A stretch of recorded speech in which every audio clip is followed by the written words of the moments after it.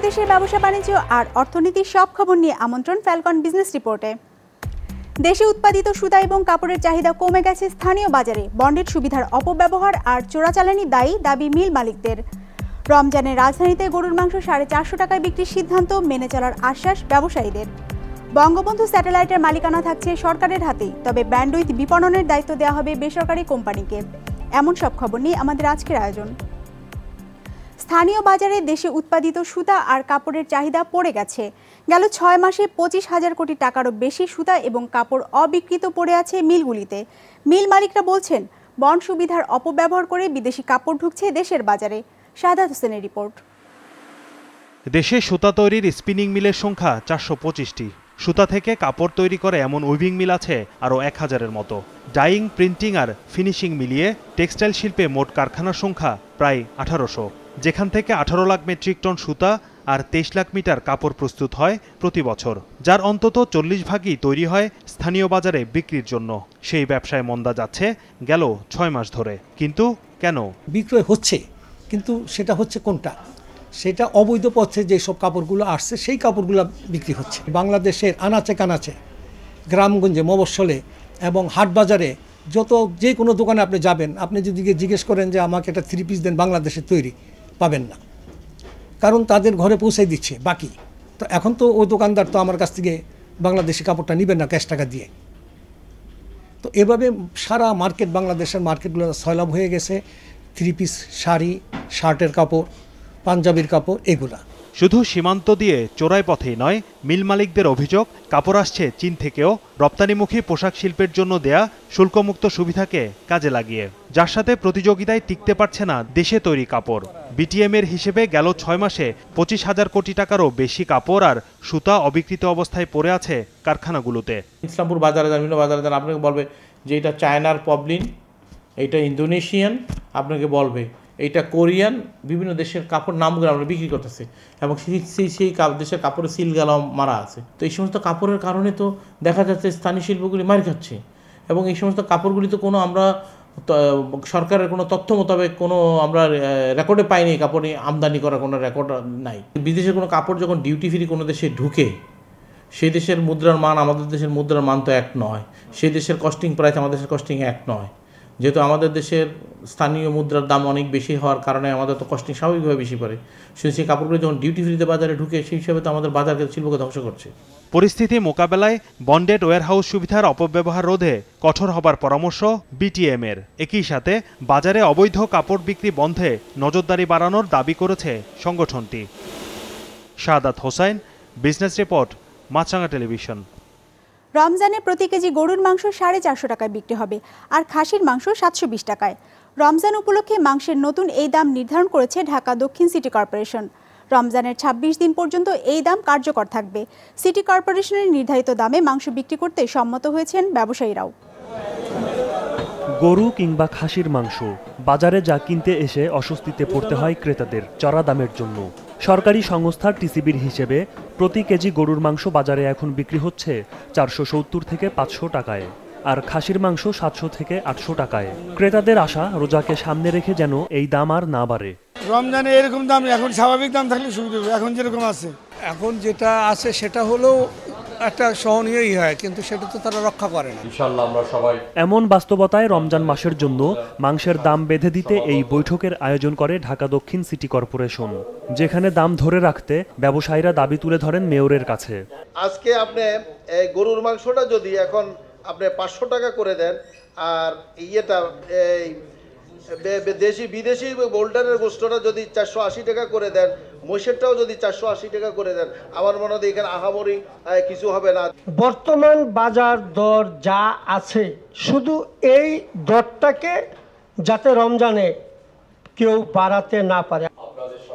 ঘণ্টাখানেকের এমন আলোচনা শেষে দর নিয়ে সিদ্ধান্তে পৌঁছে সিটি কর্পোরেশন ও ব্যবসায়ী প্রতিনিধিরা। সে অনুযায়ী, পহেলা রমজান থেকে দক্ষিণ সিটি কর্পোরেশন এলাকায় প্রতি কেজি দেশি গরুর মাংস বিক্রি হবে সাড়ে চারশো টাকায়। বিদেশি গরু ও মহিষের মাংসের দাম হবে প্রতি কেজি চারশো বিশ টাকা। আর খাসির মাংস বিক্রি হবে সাতশো বিশ টাকায়। এই দর আমরা সর্বসম্মতিক্রমে নির্ধারণ করলাম। কোনো মাংস ব্যবসায়ী যদি কোনো ধরনের ব্যত্যয় ঘটায় তাহলে সমিতির পক্ষ থেকে আপনারা প্রয়োজনীয় ব্যবস্থা গ্রহণ করবেন এবং অর্থ কর্পোরেশন আইন অনুযায়ী ব্যবস্থা গ্রহণ করবে। নির্ধারিত মূল্য যথাযথ বাস্তবায়ন এবং বাস্তবায়ন করে সেদিকে আমরাও মনিটরিং করব এবং ঢাকা দক্ষিণ সিটি কর্পোরেশনের ভ্রাম্যমাণ আদালত যে কোনো ব্যবস্থা গ্রহণ করবে, আমরা তার সাথে একমত। এই দাম বলবৎ থাকবে প্রথম রমজান থেকে ২৬ রমজান পর্যন্ত যা গেল বছরের বেঁধে দেয়া দামের চেয়ে পঁচিশ টাকা কম বলে জানানো হয় অনুষ্ঠানে। সাধারণ মানুষের Imtiaz Hasan business report Maasranga television. নির্দিষ্ট কোনো প্রতিষ্ঠানের কাছে বঙ্গবন্ধু স্যাটেলাইটের মালিকানা দেওয়া হয়নি। ডিটিএইচ ছাড়া অন্য সব ধরনের সেবাই সরকারের কাছ থেকে নিতে হবে বলে জানিয়েছেন বিটিআরসির চেয়ারম্যান। সেই সঙ্গে সরকারি ক্রয় নীতিমালা অনুযায়ী উন্মুক্ত টেন্ডারের মাধ্যমে এর ব্যান্ডউইথ বাজারজাত করতে একটি কোম্পানির নিয়োগ দেওয়ার কথা জানিয়েছেন ডাক ও টেলিযোগাযোগ মন্ত্রী। বাংলাদেশ সময় শুক্রবার দিবাগত রাতে পাড়ি দেয়া বঙ্গবন্ধু এক এখন ছুটে চলছে তার কক্ষপথের প্রথম ধাপের দিকে, যেখানে পৌঁছাতে সময় লাগবে আট থেকে দশ দিন। এরপর আরও বিশ দিন লাগবে তার জন্য নির্ধারিত একশো উনিশ দশমিক এক ডিগ্রি পূর্ব দ্রাঘিমাংশে যেতে এজন্য মোট ছত্রিশ হাজার কিলোমিটার পথ পাড়ি দিতে হবে উপগ্রহটিকে। প্রাথমিকভাবে এটি নিয়ন্ত্রণ হবে ফ্রান্স থেকে, পরে গাজীপুর আর রাঙামাটির বেদবনিয়া ভূ উপগ্রহ কেন্দ্র থেকে। স্যাটেলাইটকে ঘিরে সরকারের পরবর্তী পদক্ষেপ কি হবে, সে বিষয়ে বলছিলেন ডাক ও টেলিযোগাযোগ মন্ত্রী। কক্ষপথে স্থাপন করার জন্য যেই নিয়ন্ত্রণ ব্যবস্থাটি কাজ করা দরকার এখন সেই নিয়ন্ত্রণ ব্যবস্থাটি কাজ করছে। আমরা আমাদের ভূ উপগ্রহ কেন্দ্র থেকে তাকে নিয়ন্ত্রণ করব আমাদের নিয়ন্ত্রণে থাকব কিন্তু যতক্ষণ এটি কক্ষপথে স্থাপিত না হবে ততক্ষণ আমাদের নিয়ন্ত্রণের বিষয়ের প্রশ্ন সেটা সময়টা কতদিন লাগতে পারে? এটা এক্স্যাক্টলি তিন মাস সময়ে আমরা প্রত্যাশা করেছি স্যাটেলাইটের এই প্রকল্পে সরকারের খরচ হচ্ছে দুই হাজার সাতশো পঁয়ষট্টি কোটি টাকা। বলা হচ্ছে তা উঠে আসবে আট বছরের মধ্যে। যার বড় অংশটির যোগান দেবে দেশীয় টেলিভিশন চ্যানেলগুলো যারা এখন বিদেশি স্যাটেলাইটের সেবা ভাড়া নিচ্ছে। দেশের চাহিদা মিটিয়ে এর চল্লিশটি ট্রান্সপন্ডারের বিশটিকে বিদেশেও ভাড়া দিতে চায় সরকার। এজন্য একটি প্রতিষ্ঠানকে বিপণনের দায়িত্ব দেওয়া হবে। সরকারের ক্রয় নীতিমালা সহ অন্যান্য যে বিষয়গুলো আছে সেগুলো মেনে চলি। আমাদের এটি একটি উন্মুক্ত দরপত্রের মাধ্যমে আমাদের এটি বাজারজাত করার যে দায়িত্ব দেওয়া হবে সেটি আমরা এই দরপত্রের মাধ্যমে নির্ধারণ করছি। এছাড়া ডিটিএইচ সহ নানা টেলিযোগাযোগ সুবিধাও পাওয়া যাবে স্যাটেলাইটের মাধ্যমে। তবে এই সেবা দেওয়ার লাইসেন্স কে দেবে তা নিয়ে এরই মধ্যে বিতর্ক তৈরি হয়েছে। সে বিষয়ে প্রশ্ন করা হয় বিটিআরসির চেয়ারম্যান ও মন্ত্রীর কাছে। টেলিভিশনের মাধ্যমে যে সমস্ত সার্ভিস পান যেভাবে বাইরের চ্যানেলগুলো দেখেন এখন কেবলের মাধ্যমে তখন দেওয়া হবে ডিটিএইচ এর মাধ্যমে। এই ডিটিএইচের এই একটা মা- অনেকগুলো সেবার ভিতরে ডিটিএইচ একটা সেবা এই সেবাটা দুটো কোম্পানিকে দেওয়া হয়েছে লাইসেন্স দেওয়া হয়েছে। এটা কিন্তু স্যাটেলাইটের মালিকানার সঙ্গে কোনো সম্পর্ক নাই। লাইসেন্স দেওয়ার জন্য এর যে তরঙ্গ এবং অন্যান্য বিষয়গুলো সংক্রান্ত বিষয় আছে সেটি সম্পূর্ণভাবে আমাদের বিটিআরসি করবে আমাদের মন্ত্রণালয় তার সাথে কাজ করবে। Mahmud Kamal business report Maasranga television. চীনা বিনিয়োগে ঢাকা শেয়ার বাজারে প্রযুক্তির ব্যবহার বৃদ্ধির হাতছানির খবর জানাব বিরতির পর।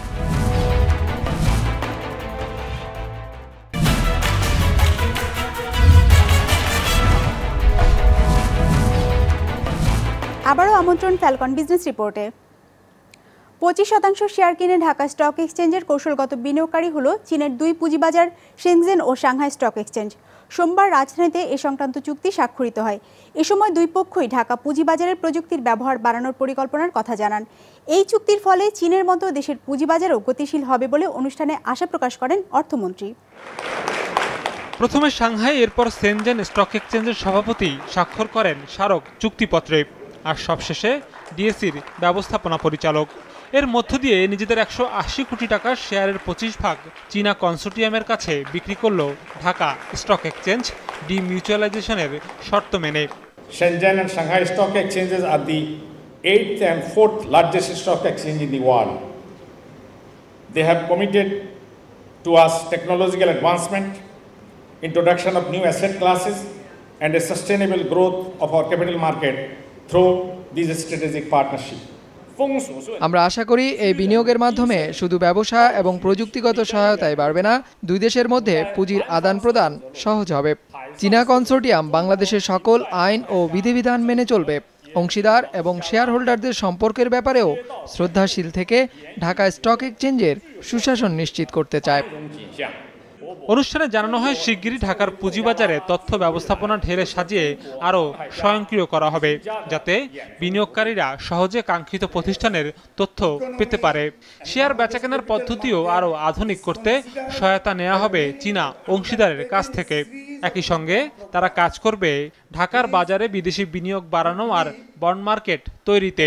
Inclusion of the Chinese consortium as a strategic partner will also help improve the governance of the Dhaka Stock Exchange, ensure better corporate culture, promote higher ethical standard in all operations and dealings in the market. I think one thing I would advise our people that the speed with which Chinese economic institutions have come up, let's hope that in this respect, in respect to the capital market, we shall follow their. দু সালের নভেম্বরে বিশ্বের ছাব্বিশতম stock exchange হিসেবে demutualised হয় ডিএসি যে প্রক্রিয়ার বড় শর্ত ছিল কৌশলগত বিনিয়োগকারী নিয়োগ। ডিমিউচুয়ালাইজেশনের প্রায় পাঁচ বছর পরে এসে সেই শর্ত পূরণ করল Dhaka stock exchange Sourav Rahman business report Maasranga television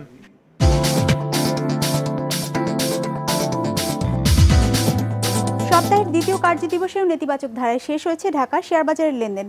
সার্বিক সূচক ডিএসিএক্স এক পয়েন্ট কমে দাঁড়িয়েছে পাঁচ হাজার পাঁচশো সাতান্নতে। বেচাকেনা হয়েছে তিনশো তিরিশ কোটি টাকার। লেনদেনে অংশ নেওয়ার প্রতিষ্ঠানগুলোর মধ্যে দাম বেড়েছে একশো চৌত্রিশটির আর কমেছে একশো পঁয়ত্রিশটির। বাজার নিয়ে এবার বিশ্লেষণ আইডিএলসি অ্যাসেট ম্যানেজমেন্টের। আজ প্রধান মূল্যসূচক ডিএসি এক্স প্রায় এক পয়েন্ট হারিয়ে পাঁচ হাজার পাঁচশো আটান্ন পয়েন্টে দিন শেষ করেছে। যার ফলে মার্কেট পতনের ধারা নবম দিনের মতো অব্যাহত থাকে।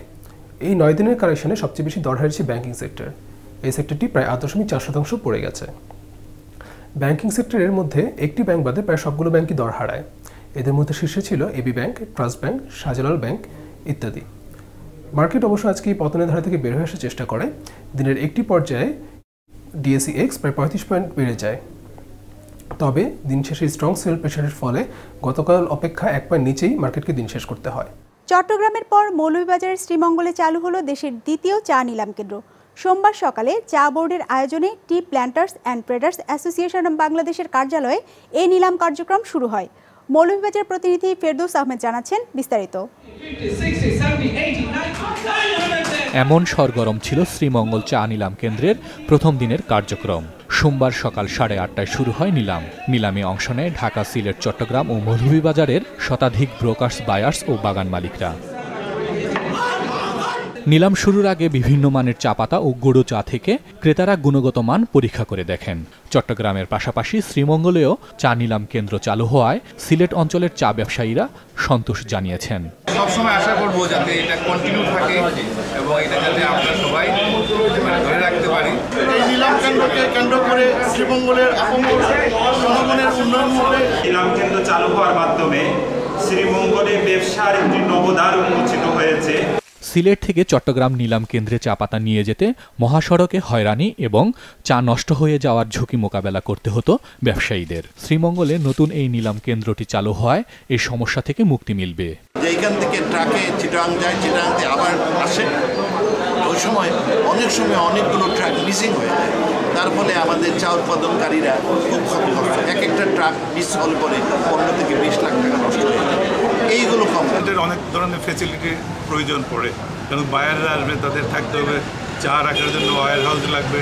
আর বিভিন্ন অবকাঠামো দরকার। সেগুলো যদি আস্তে আস্তে গড়ে ওঠে, নিশ্চয়ই এই যে সেন্টারটা আজকে চালু হলো, এটার অনেক উন্নতি হবে। আমাদের লোকাল যে ব্রোকার হাউসগুলো আছে, সেইগুলা কিন্তু আজকের বিডিংয়ে অংশগ্রহণ করতে পারে নাই। আমি আশা রাখব, আগামীতে যারা অংশগ্রহণ তারা অংশগ্রহণ করতে পারে, সেই লক্ষ্যে আমি জোর দাবি জানাচ্ছি। সকালে নিলাম শুরু হলেও দুপুরে ভিডিও কনফারেন্সের মাধ্যমে কেন্দ্রের আনুষ্ঠানিক উদ্বোধন করেন বাণিজ্যমন্ত্রী প্রথম দিনে নিলামে বারো কোটি টাকার পাঁচ লাখ সাতান্ন হাজার কেজি চা বিক্রি হয়। Business report Maasranga television. জট এড়াতে ভূগর্ভস্থ টানেলের মধ্য দিয়ে যান পরিবহনের নতুন এক প্রকল্প চলছে যুক্তরাষ্ট্রে। যার নির্মাণ কাজ এখন শেষ পর্যায়ে বলে জানিয়েছেন এর উদ্যোক্তা ইলন মাস্ক। বিস্তারিত ডেস্ক রিপোর্টে। লস অ্যাঞ্জেলসের ব্যস্ততম সড়ক দিয়ে ছুটে চলছে গাড়ি। গন্তব্যে পৌঁছাতে পাড়ি দিতে হবে বিশাল যানজট। তার আগেই ভূগর্ভস্থ টানেলে পৌঁছে যাবে যানটি একটি বৈদ্যুতিক স্কেটে চেপে। ঘন্টায় প্রায় আড়াইশো কিলোমিটার গতিতে সেটি জট পার করে আবার পৌঁছে দেবে মূল সড়কে। এমনই এক পরিকল্পনা করেছিলেন যুক্তরাষ্ট্রের খ্যাতনামা উদ্যোক্তা এলন মাস দুই হাজার ষোলো সালে, যার নাম দেয়া হয়েছে এলএ টানেল। প্রকল্পটি বাস্তবায়নে তিনি একটি প্রতিষ্ঠানও খোলেন, নাম দেন দি বোরিং কোম্পানি। মাস্কের পরিকল্পনা ছিল সাড়ে দশ কিলোমিটার দীর্ঘ টানেল তৈরির, যেটি তার আরেক মহাকাশযান পরিচালনাকারী প্রতিষ্ঠান স্পেস এক্সের অফিস থেকে পশ্চিম লস অ্যাঞ্জেলেস পর্যন্ত বিস্তৃত হবে। এতে ৪৫ মিনিটের দূরত্ব কমে আসবে পাঁচ মিনিটে। স্কেটটিতে কার, বাসের পাশাপাশি যাতায়াত করতে পারবে বাইসাইকেল, এমনকি মানুষও। গেল বছরের আগস্টে তারা তিন কিলোমিটার টানেল তৈরির অনুমতি পায় কর্তৃপক্ষের কাছে। শুরু হয় নির্মাণ কাজ, যা এখন অনেকটাই শেষের পথে। টুইটার ও ইনস্টাগ্রামে সম্প্রতি এই ভিডিও দিয়ে তারই জানান দিলেন মাস্ক। এরই মধ্যে তার কোম্পানি ক্যালিফোর্নিয়াতেও একই ধরনের টানেল তৈরির প্রস্তাব দিয়েছে। তবে কীভাবে মানুষ এটি ব্যবহার করতে পারবে, তার কোনো ব্যবসায়িক পরিকল্পনা এখনও প্রকাশ করেননি মাস্ক। শুধু টানেল সড়ক নয়, মাস্ক এরই মধ্যে খ্যাতি পেয়েছেন অভাবনীয় সব যোগাযোগ প্রকল্পের পরিকল্পনা হাজির করে, যার একটি হাইপারলুপ। যেই টানেলের ভেতর দিয়ে চলা বিশেষ একটি যান ঘন্টায় বারোশো কিলোমিটার গতিতে যাত্রী পরিবহন করতে পারবে। Faisal Shovon business report Maasranga television আমাদের যে কোনো পর্ব নিজেদের সুবিধাজনক সময় দেখতে সাবস্ক্রাইব করুন বিজনেস রিপোর্টের ইউটিউব চ্যানেল। ফেসবুক পেজে লাইক দিয়ে আপডেট থাকুন ব্যবসা বাণিজ্যের আলোচিত সব ঘটনা সম্পর্কে। আর আপনাদের মতামত জানান ইনবক্সে আজ এটুকুই, বিদায় নিচ্ছি, ভালো থাকবেন।